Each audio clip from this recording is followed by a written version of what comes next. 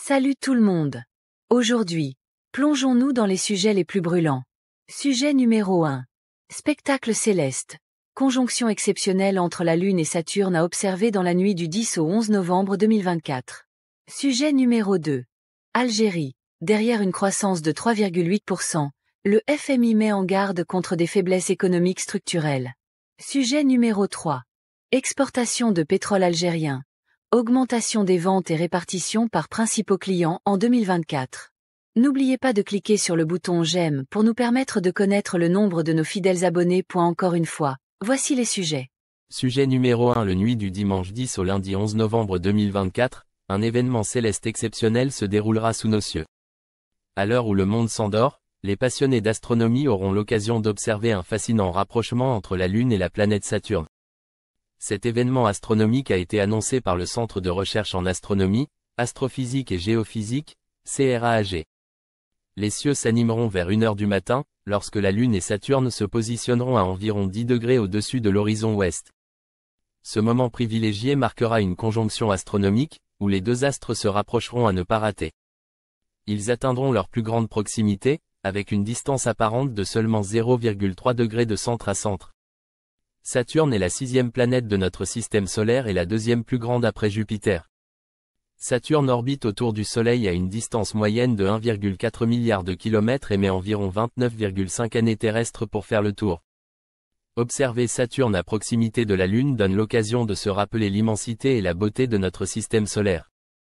Un spectacle céleste à ne pas manquer par ailleurs, les conditions d'observation seront idéales pour les amateurs d'astronomie. Munissez-vous donc, de vos jumelles ou de votre télescope pour apprécier ce phénomène sous toutes ses coutures.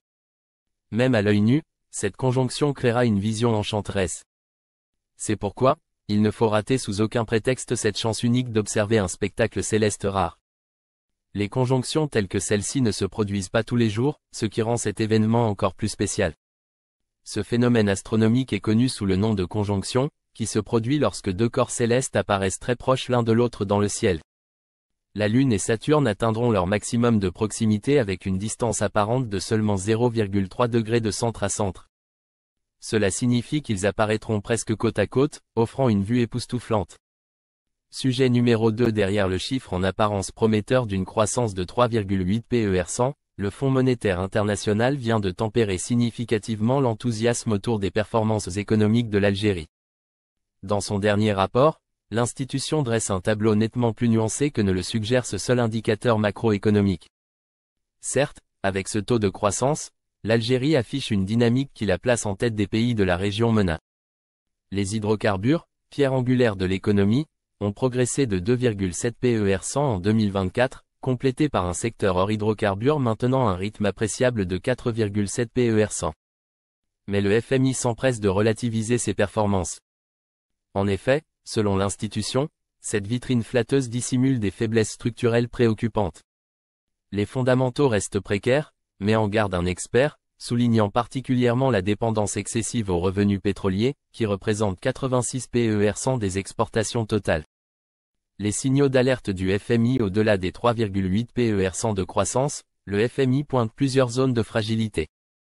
Si l'inflation montre des signes d'amélioration, passant de 9,3 PER 100 en 2023 à 5,0 PER 100 au premier trimestre 2024, l'institution reste vigilante quant à son impact sur le pouvoir d'achat des ménages. La stabilisation projetée à 5,5 PER 100 pour 2025-2027 nécessitera une surveillance constante.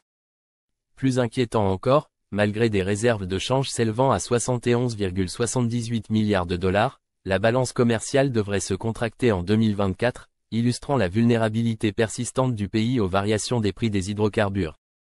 Un impératif de réforme face à ces perspectives mitigées, le FMI bouscule l'optimisme ambiant en appelant à des mesures radicales, réformes structurelles, audacieuses, diversification économique urgente et refonte du climat des affaires. Le ralentissement anticipé de la croissance à 3,1 PER 100 en 2025 vient d'ailleurs étayer ces recommandations pressantes. Pour maintenir une dynamique positive, L'institution insiste sur deux leviers essentiels, stimuler les investissements privés et développer de nouveaux secteurs d'exportation au-delà des hydrocarbures. En définitive, le FMI invite clairement à regarder au-delà du séduisant 3,8 PER 100 de croissance. L'Algérie se trouve confrontée à un choix crucial, soit engager rapidement les réformes préconisées, soit risquer de voir cette croissance prometteuse s'effriter progressivement. Le message est clair, sans une transformation profonde de son modèle économique, notamment par une diversification de ses sources de revenus, cette performance pourrait n'être qu'un feu de paille. Sujet numéro 3 Les exportations algériennes de pétrole ont augmenté pendant les dix premiers mois de 2024 à 410 000 barils par jour, contre 378 000 b. pendant la même période de 2023, selon les chiffres divulgués par la plateforme spécialisée Ataka.net. La même source a détaillé les principales destinations du pétrole algérien. Si les exportations ont augmenté, la production de l'Algérie en pétrole a en revanche baissé, passant de 982 000 barnes, J en moyenne entre janvier et octobre 2023 à une moyenne de 907 000 barnes, J pendant la même période de l'année en cours. Ce recul est induit par les baisses volontaires décidées par les pays membres de l'OPEP+, explique Théon. Dans le détail, les exportations algériennes de pétrole ont baissé au premier trimestre 2024 à 375 031 barnes, J, contre 377 001 B, J pendant la même période de 2023. Elles sont toutefois réparties à la hausse au deuxième trimestre, à 456 000 barnes, J au deuxième trimestre avant de baisser de nouveau à 396 000 barnes, J au troisième quart de l'année.